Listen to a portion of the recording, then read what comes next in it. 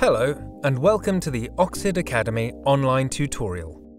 By watching this tutorial, you will learn how to install Oxid eShop with Composer. The installation basically consists of four steps. Step 1. Fulfillment of the system requirements. Step 2. Preparation of Composer. Then Step 3. The installation via Composer. And Step 4.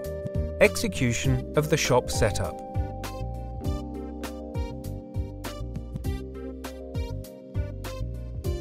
Just open your browser and open docs.oxid-esales.com. The start page is in German, but if you click on Entwickler Dokumentation, you will find the information you need in English as well. Open the subsection Getting Started and click on Server and System Requirements. Here you will find a detailed overview of the conditions that must be met such as the MySQL version or the PHP version. If all system requirements have been met, you can continue with Step 2. Step 2 is the preparation of Composer. To do this, go to getcomposer.org. You will find all the information you need to install Composer on your server under the menu item Getting Started. Then you can continue with Step 3, the installation itself via Composer. This requires you to connect to your server. You can use an SSH client like putty.exe for this, or, as I will show you in this video, simply use the built-in Windows function via Windows PowerShell.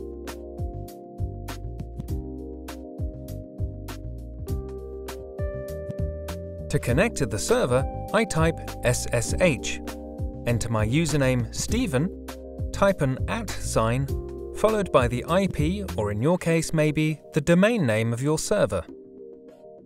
Both username and IP can be found in the customer center of your hosting partner or can be requested from your partner. Then I confirm with the Enter key and will be asked to enter my password. I confirm this as well by pressing Enter, and am then connected to my server. Now it's time to get down to business. First, type Composer followed by the composer command create project. Then type the parameter dash dash no dash dev. Then enter the corresponding repository oxid dash esales slash oxid eshop dash project.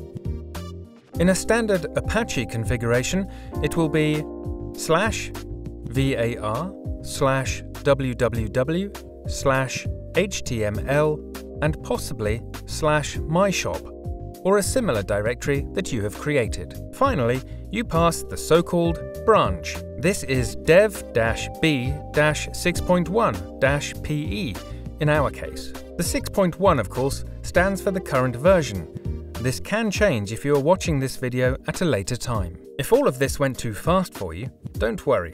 You don't have to watch the video again. You can simply refer to our documentation. Go to Install Oxid eShop compilation. There you will find the corresponding commands for the Community, the Professional and the Enterprise edition. Confirm the command by pressing Enter again and wait for a moment. As you can see here, the installation will start and you will be prompted to enter a username. You will receive the credentials together with your license key when ordering an Oxid eShop. After the username, enter the corresponding password. Confirm with Enter, and you can now decide whether you want to save the credentials for updates or if required for a parallel installation. You can simply confirm by pressing Enter and the installation will now proceed.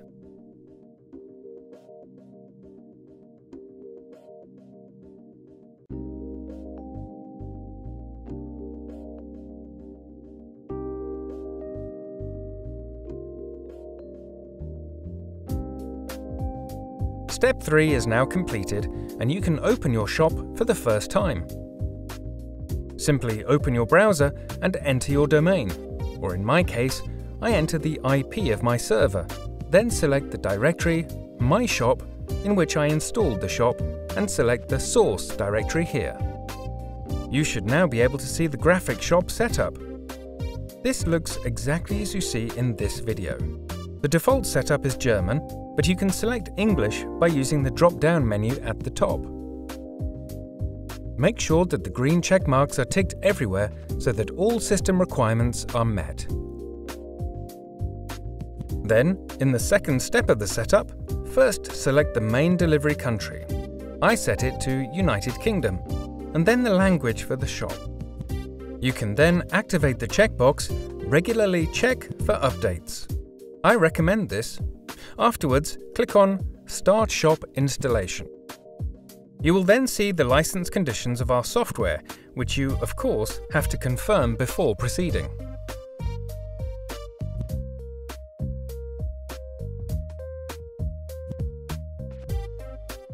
You must then set up the database.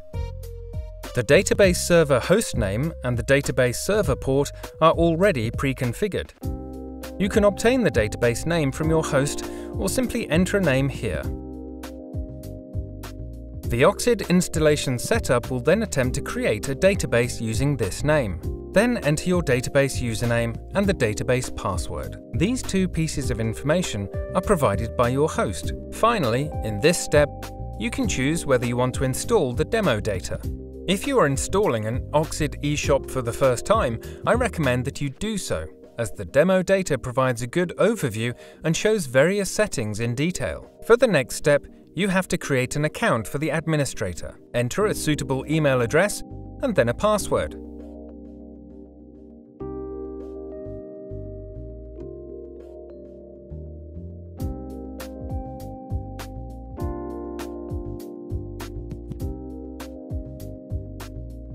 Then click on Save and Continue, and wait a moment. Once the database has been successfully updated, you are transferred to the last step of the setup. The license key included in the standard package is valid for 30 days, so you can test the shop, or you can enter your purchased license key directly. Then click on Save License Key, and you have successfully installed the shop. You can click on To Shop, which brings you to the front end, i.e. the shop as the customers will experience it.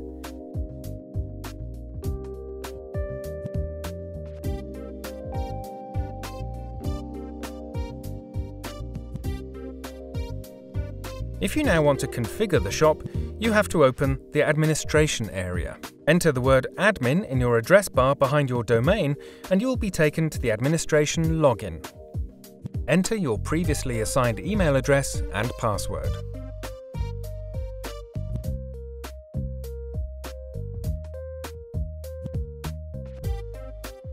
The Oxid eShop backend, also known as the administration area, will be displayed, and you now have the opportunity to make the appropriate settings to customize the shop as you wish. This is all you need for your successful e-commerce platform. I wish you every success and thank you at the same time for your attention. If you want to learn more about the Oxid eShop, please visit our Oxid Academy training courses. You can find them on the website of Oxid eSales AG. oxid-esales.com